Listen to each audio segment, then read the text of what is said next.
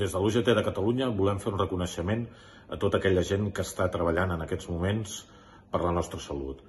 A tota la gent que està en els hospitals, personal sanitari, personal de neteja, personal de seguretat, a tota la gent que està treballant, moltes gràcies i molt suport pel servei que esteu fent.